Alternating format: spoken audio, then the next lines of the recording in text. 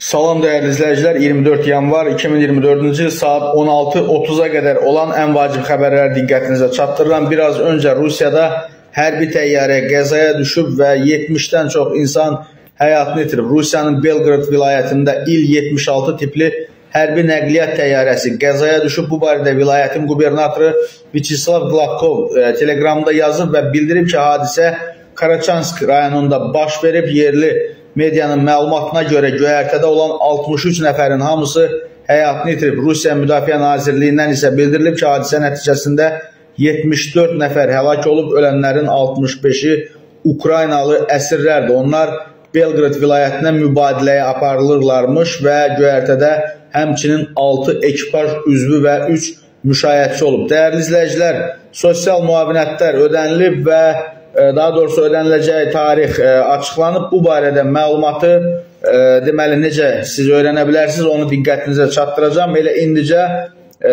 keçə bilərsiniz. Bizim TikTok səhifəmizin bax bu böl bu hissəsində YouTube keçidimiz var. Görürsüz YouTube linki qoymuşuq. Qırmızı bura buranı da vurursunuz. Baxın, bu qırmızı düyməni vurursunuz.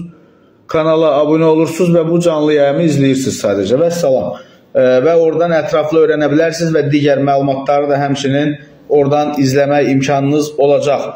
Bakıda, e, deməli Bakı metrosunda halı pisləşən sərnişin vəfat eləyib. Əzaslanov Dərnəgül marşrutu üzrə hərəkət edən qatarda sərnişinlərdən birinin halı pisləşib. Bununla bağlı maşinistə məlumat daxil olan kimi dərhal tədbirlər görülüb. Dispetçerin müvafiq tapşırığına uyğun olaraq Qaraqarev stansiyasında sərnişin qarşılanıb, təcili tibbi yardım xidməti çağırılıb. Təxminən 60-65 yaşlarında olan kişi sərnişinə ilkin yardım göstərilib. Təcili yardım briqadası gələnə qədər sərnişin vəfat edib.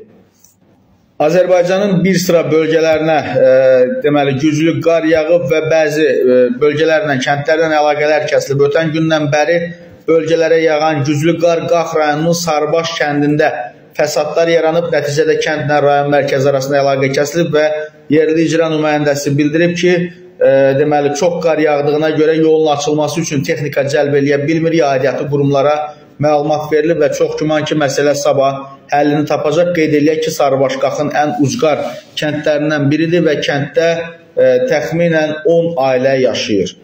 Cəllabadda isə rayonda nəqliyyatın hərəkətində və elektrik təchizatında problemlər yaranıb. Cəllabadın dağlıq kəndlərində qarın hündürlüyü 50 sm-ə çatıb, avtomobil yollarında nəqliyyatın hərəkəti çətinləşib. Yaxşı ki, bizdə əməlli başlı qar yağmır. 2 gün yağıb aləm dəyib bir-birinə. Tanınmış aktrisa Ülviyə Əliyeva 42 yaşında ana olub, sənətçinin oğlu dünyaya gəlib. Aktrisa anasının xəstəliyi və vəfatı ilə əlaqədar bu xəbəri hər kəsdən gizli saxlayıb. Olayın yaydığı məlumata görə o hamiləliyi boyunca və övladını dünyaya gətirəndən sonra sevincini yalnız yaxınları ilə paylaşıb ə, e, və sonradan belə bir foto paylaşıb. Ə, e, söhbət aktrisa Ülviyə Əliyevadan gedir. Bakıda 33 yaşlı kişi metronun qarşısında öldürülüb. E, Nizami rayon prokurorluğunun məlumatına görə hadisə saat 11 radələrində Koroğlu metro stansiyasının qarşısındakı mağazalardan birində baş verib. 1991-ci il təvəllüdlü Nurlan Məmmədovun öldürülməsi barədə rayon prokurorluğuna məlumat daxil olub. Araşdırma zamanı 1985-ci il təvəllüdlü Əhməd Hüseynovun aralarında yaranmış mübahisə zamanı Nurlan Məmmədova bıçaqla xəsarətlər yetirərək qəsdən öldürməsinə əsaslı şübhələr müəyyən edilib və faktla bağlı Cinayət Məcəlləsinin 120.1-ci maddəsi ilə cinayət işi başlanılaraq ibtidai istintaq aparılır və söz gedən şəxs polisə könüllü təqdim olub, daha doğrusu təslim olub və ilkin məlumata görə cinayət hadisəsi şəxsi münasibətlər zəminində baş verib.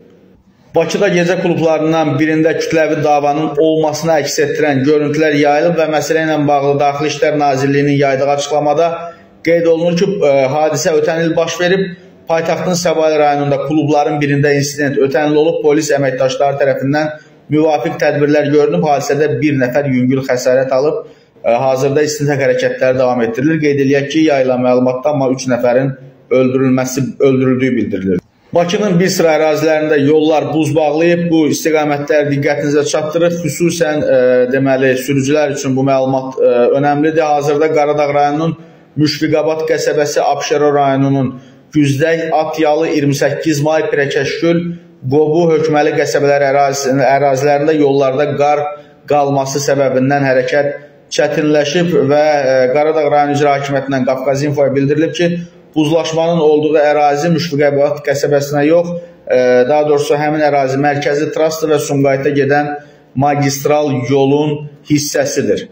İran prezidenti İbrahim Rəisi Türkiyəyə rəsmi səfər edib. TRT xəbərin məlumatına görə ə, e, səfər çərçivəsində onun Türkiyəli həmkarı Rəcəb Tayyib Ərdoğanla e, görüşü nəzərdə tutulur, danışıqlar aparılacaq. Eləcə də Türkiyə-İran Yüksək Səviyyəli Əməkdaşlıq Şurasının 8-ci iclasında rəisi iştirak edəcək. İki ölkə liderinin görüşü zamanı Qəzzadakı son vəziyyətlə yanaşı İraq, Suriya, Cənubi Qafqaz, Əfqanistan və Ukrayna ilə bağlı bir sıra məsələlər müzakirə ediləcək və e, deməli bir vacib məlumat da var. Bakı şəhəri 6 nömrəli məktəb liseydə 2-ci sinif şagirdinin istismara məruz qaldığı ilə bağlı yayılan məlumatlara aydınlıq gətirib bu barədə e, təhsil müəssisəsinin direktoru Gülşən Orucova APA açıqlamasında bildirib ki, sözü gedən məsələ ilə bağlı yanvarın 10-da onlara müraciət daxil olub və şikayətçi valideynə yaxınlarına kamera görüntülərini izləmək üçün şərait yaradılıb. Hörmətli izləyicilər, e, sonda bir daha qeyd edeyim, e, deməli müavinətlərlə bağlı elə bax TikTok səhifəmizin yuxarısında YouTube keçidimizdə ətraflı ə, e, ayın tarixi, ə, hansı müavinətlər, hansı ödənişlər veriləcək ətraflı buradakı linkdən və yaxud da bu YouTube kanalına keçib abunə olub ətraflı izləyə bilərsiniz və TikTok səhifəmizi isə buradakı plus düyməsindən abunə olmaq mümkündür. Təşəkkür edirəm. Növbəti saatlarda xəbərlərimizi təqdim edəcəyik və ən əsas məsələ onu qeyd edeyim. Axşam saat 8 tamamda YouTube kanalımızda 1 saatlıq əsas xəbər buraxılışımız olacaq ki, ölkədə və dünyada baş verənləri diqqətinizə çatdıracaq. Bizi izləyə bilərsiniz. Hələlik.